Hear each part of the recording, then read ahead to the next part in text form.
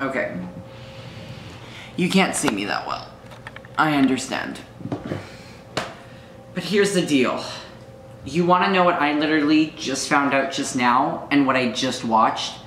That Casey Neistat's ending his vlogs. I mean, this this is a vlog where that I'm gonna make and and and it, and it, it was hard for me to find this out because I mean he's been a huge inspiration to me. He's the reason why I started this. And I, I am excited to, to continue vlogging and to continue doing this. But to see someone so good leave the vlogging scene is it, it, it's it's difficult. Casey, you've been I don't I don't know if you're gonna watch this, but if you do, I would like to just say that you you've been a huge inspiration to me. Um, your style, you you set the bar for for vlogging standard for for what the style is. Your time lapses were were second to none. They were absolutely amazing. And I mean, showcasing your family life in a way that I don't think others have seen before was absolutely amazing from you going in and showing real reality, showing real life was done in a way that we could relate to. And you were, you're a really good family man and we could, we all could tell that, that family was, was number one. Family was, was a priority. And it was absolutely amazing to go in and see what your life was like. And for me as a vlogger, as, as starting this journey, as starting this YouTube journey, I've only been doing this journey myself for two months. And I mean, we're working on getting things maybe daily and, and a lot more frequent uploads. But we've just started this journey. So, so real that we're actually vlogging, we're actually doing this. But it, it's sad to see someone, someone go. Now, Casey made it very clear he's not leaving YouTube. He's still going to make videos. But just not daily. I want to just respond and say that I, yeah, I, I was very impressed with how you vlogged and, and how his vlogs were laid out. And if you haven't watched them, you you should go back and watch them because they were they were absolutely amazing. And I mean, I'm still figuring this out. I'm still working, and I work hard to try and produce good stuff. But to see someone leave, you know, the the vlogging scene, it's it's a difficult one. But my views are shooting up. My subscribers have gone up, which is exciting actually really exciting and it makes me want to do more. I, I did shed some tears because you get attached. You, you definitely do. And I mean, I was, I was disappointed to hear the news. And for him right away off the bat to say this is not clickbait, I was like, oh no, it's real. And I haven't, and I mean, there have been times recently, these last past days, where there hasn't been that many vlogs. For, for him and maybe also for me. But for him, there was times where there haven't been that much, and the thing that I would do is is I would I would watch those vlogs before I'd produce my vlogs, and that would be how I kind of get the little little tidbits of inspiration, those little things. It's like, ooh, that that's really cool. Okay, maybe we can you know take that and make it my own. And and the whole thing is, I wanted, you know, I'm not taking Casey's style. I'm taking it and making it my own. And, and you know, teachers tell you this always in school. They always say, when doing research, you take the research, you take, you know, the, the Wikipedia page, that's a bad example, but you take the Wikipedia page and you copy and paste it onto a Word document and you don't just then say it's mine and print it out. That's plagiarism. What you do is you highlight the important things and then you take it and you rewrite it. You rewrite it in your own words. That's what I'm basically doing here. I'm taking a style and taking it, highlighting what I like, and making it my own.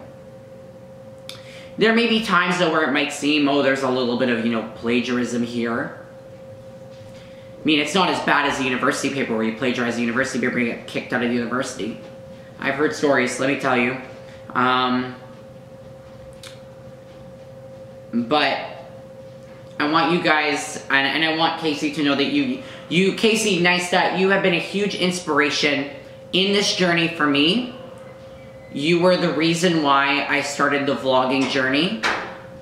Not just to create, not just to show new things and to present new ideas, but to to start off th this journey. I can't just sit in a classroom all day at school and do schoolwork. And teachers, can't expect that from me because I don't want to just sit there and do something that they want me to do this in the curriculum. I want to do something outside. Something outside of that box. And, and there was, and I, I had a conductor and he did this thing. This thing right here. It's called the music box. And you expand your box. We all have our own box in our lives. But I mean, we gotta expand our box. Okay? We gotta expand it, make it bigger. So let's say in your music box you may have Ariana Grande, okay? And that's all you listen to, you just don't stop. But then as soon as you listen to someone different, like Flo Rida, okay, these are all just examples that I guess you can maybe relate to. I mean, your box starts expanding, and even in choir. You know, in my life I'm used to listening just to, you know, pop top 40s, but in, you know, and then in choir we're singing like songs from all across the world, we're singing spirituals, we're singing God, and then it just starts expanding. And that's what we have to do with our lives. We have to broaden our horizons, open things up. You may just be stuck in our comfort zone. But we have to go out of our comfort zone. We have to go outside. And as soon, as soon as we go outside of that comfort zone, it just expands. It expands so big that, and Casey, you have helped me expand my box. I've been afraid of getting out there so many times. I've been afraid of getting out to the world and going going out into the world on video, on film, to you, you the viewers. I've been afraid of going on YouTube because I've been afraid of backlash and judgment. But the thing, Casey, Casey's not afraid for that. He's proven to me that you don't have to be afraid. You can go out there, create something, and you take the criticisms and you use that to make it better. Casey, you have been an inspiration. You know, you've, guys know that he's been an inspiration. And I want to give you good luck. Good luck on your future ahead. Good luck on what, whatever, whatever you're doing next. All the best. And I want to thank you. I know there are so many viewers watching this, or out of a lot of the viewers that have seen your vlogs on behalf of me and I'm pretty sure on behalf of them, there, there's so much of a thanks because you have made vlogging, made, made vlogging cool. You made vlogging the thing. You made vlogging it. You made vlogging the thing to do. And without you, I don't think I would have ever gotten on the YouTube scene. I don't think I would have ever started this. And I've gotten, and people look at me still to this day and say, you vlog, you vlog, you vlog. But because I, I don't care about that anymore. Because I know I'm creating something, and sure, it's not going to be maybe perfect some days. But creating something is fun. And Casey, you made it cool to create again. You made it cool to vlog. You made it cool to be who you are, to be yourself. And you've taught me that I don't have to change who I am for people to like me. I just have to be myself.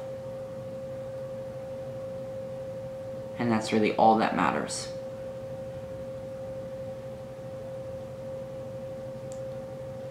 Thank you, Casey, and all the best.